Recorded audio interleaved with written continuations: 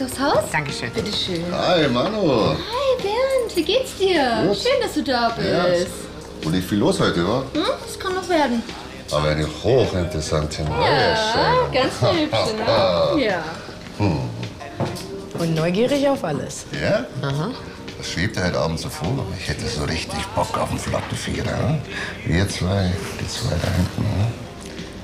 Ja, ich bin heute das erste Mal hier. Ich glaube, so eine kleine Zweieraktion wird mir erstmal reichen. K11 bitte kommen.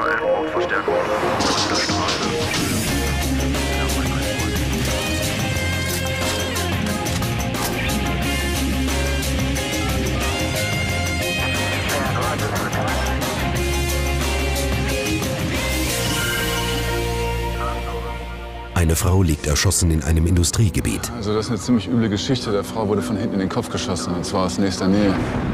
Sie war in einer Hinrichtung, oder? Ja. Habt ihr die Tatwaffe schon? Nee. Das waren eine 9 mm. Ich habe die Hülse direkt neben der Leiche gefunden. Alles klar, ja.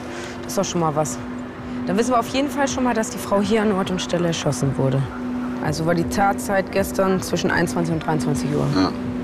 Aber sag mal, was macht so eine junge Frau in diesem entlegenen Industriegebiet? Noch dazu nachts in so einem aufreizenden Outfit. Weiß nicht, vielleicht eine Prostituierte? Ja, aber ist doch kein Straßenstrich hier, oder? Eigentlich nicht. Es ist überhaupt ein Wunder, dass die Leiche so früh gefunden wurde. Ja.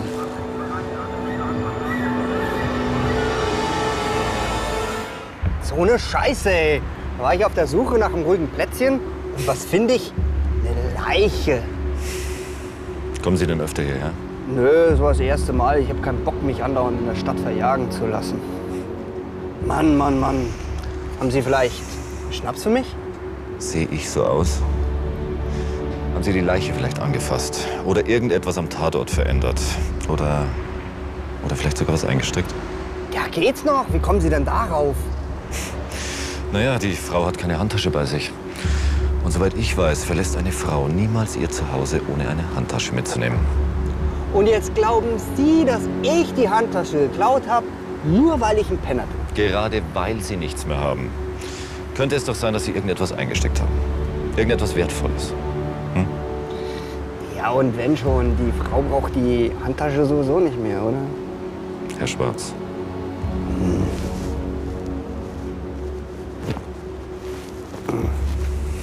Doch.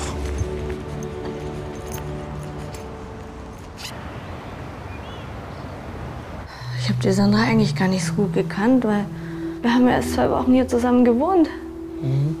Wie kam das denn überhaupt, dass ihr gemeinsam gelebt haben?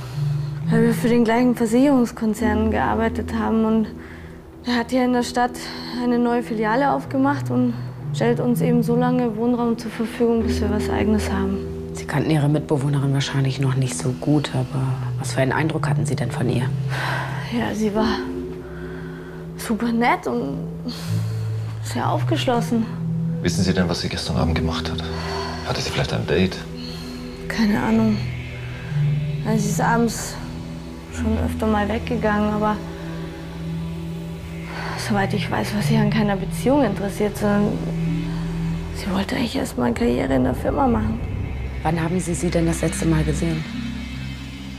So kurz vor 17 Uhr in der Firma. Und ich bin dann direkt ins Kino gegangen und als ich zurückgekommen bin, da war sie nicht da. Und ja, ich bin dann sofort ins Bett gegangen. Und als ich heute Morgen aufgestanden bin und sie nicht da war, da dachte ich, sie ist vielleicht schon ins Büro gefahren. Wir würden uns jetzt ganz gerne das Zimmer Ihrer Mitbewohnerin ansehen.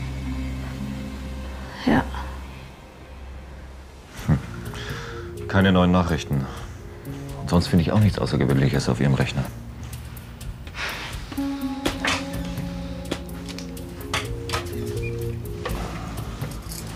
Oh. Alex? Ja? Ich wusste gar nicht, dass sie auf sowas steht. Tja, anscheinend schon.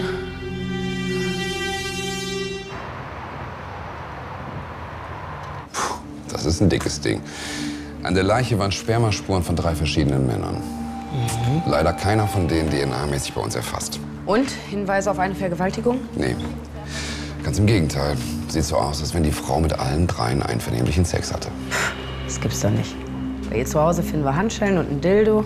Dann hatte sie mehrere Sexualpartner. Die hatte wohl doch nicht nur ihre Karriere im Kopf. Ah, das ballistische Gutachten, Kollege. Ja.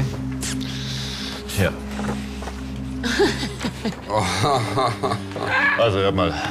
Die Tatwaffe war definitiv eine Heckler und Koch 9 mm. Na super, da gibt's tausende von. Wahrscheinlich war einer ihrer letzten drei Sexualpartner der Täter. Rietzke, elf? Was? Ja, okay, wir kommen. Ja, wir sind auf dem Weg. Tschüss. Das war die Leitstelle. Das gibt's nicht. Im Industriegebiet wurde jetzt noch eine Frauenleiche gefunden.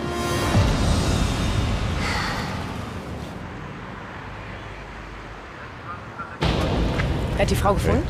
Die Spurensicherung, als sie das Gelände abgesucht hat. Danke. Ja, Doc, da sind wir schon wieder. Hey. Ja, hallo.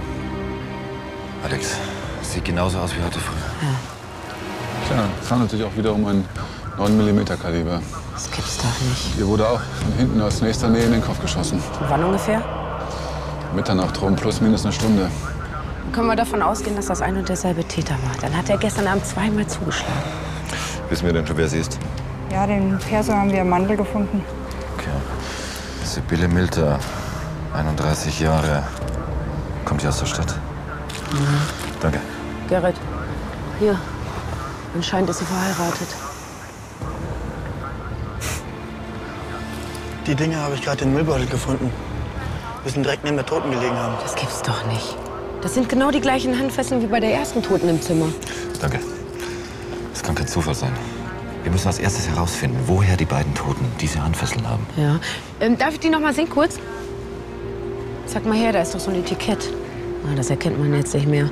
Gibst du das bitte unseren Fachleuten, die sollen mal versuchen, diese Aufschrift zu rekonstruieren. Alles klar. Tja, wenn wir mal mit ihrem Ehemann sprechen müssen. An irgend so einen Arsch meine Frau erschossen. Und Sie und Ihre Kollegin haben nichts Besseres zu tun, wie mich hierher zu schleifen, statt mich die Sache verdauen zu lassen. Herr Milter, wir warten jetzt erstmal das ballistische Gutachten ab, ja? Sie glauben doch wohl nicht wirklich, dass ich Sibylle umgebracht habe. Ihre Frau wurde mit einer Heckler und Koch 9 mm erschossen. Tja, und genau so ein Ding haben unsere Kollegen bei Ihnen im Waffenschrank gefunden. Ja, und ich brauche die Knarre nun mal für mein Hobby. Ich bin Sportschütze. Aber wieso sollte ich dann damit meine Frau umgebracht haben? Aus Eifersucht vielleicht? Die Obduktion hat ergeben, dass Ihre Frau kurz vor ihrem Tod Sex mit zwei Männern hatte.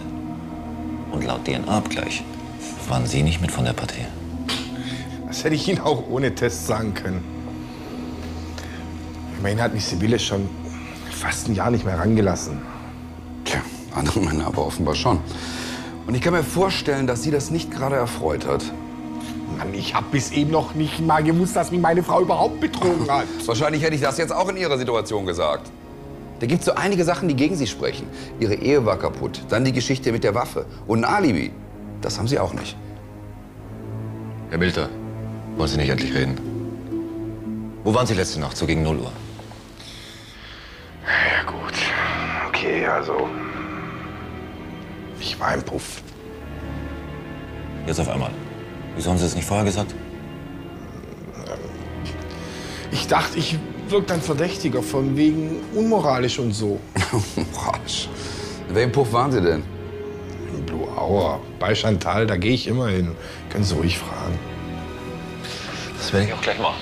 Na gut. Kann ich auch gehen. Hier bleiben sitzen. Moment, so weit sind wir noch nicht. Da gibt's noch eine andere Sache. Kennen Sie eine Sandra Becker? Hm, nee, kenne ich nicht. Nie gehört. Wer ist denn das? Die Frau ist ebenfalls gestern Nacht erschossen worden. Auch im Industriegebiet. Wahrscheinlich sogar vom gleichen Täter. Weiß ich nichts von. Wobei, ich meine, dass ich meine eigene Frau erschieße, ist ja schon mal Quatsch. Aber wieso irgendeine Fremde erschießen? Gerrit, warte mal.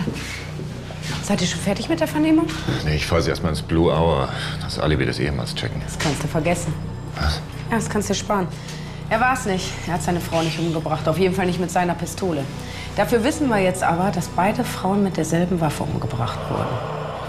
Dann wird es auch ein und derselbe Täter gewesen sein. Das ist anzunehmen. Naja, und dann haben wir noch einen ersten Hinweis. Die Handschellen. Richtig. Und zwar waren das wohl Werbegeschenke aus dem Tango Club. Tango Club. Diskothek? Uh -uh. Ein Swingerclub. Oh. Ganz in der Nähe vom Industriegebiet. Ja, die beiden Frauen waren gestern dort wohl zu Gast. Das würde auch erklären, wieso wir so viele Spermaspuren an den Leichen gefunden haben. Ja, dann fahre ich dahin. Okay. Bis später. Viel Spaß.